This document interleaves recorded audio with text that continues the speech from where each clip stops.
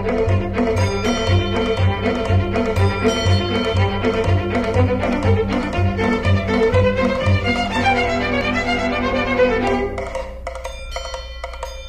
nga bang sasakyan pa ang tunay na maginhawa Kundi itong dating atin na kung tawagin ay kalesa Subukin mang sakyan ito kapag hindi ka nag-enjoy kahit pabalik-balik lang sa Quiapo at sa Chinatown. Kadalasan pang mangyari ay kay buti ng kutsero at tunay kang mawiwili kung masarap makipagkwento.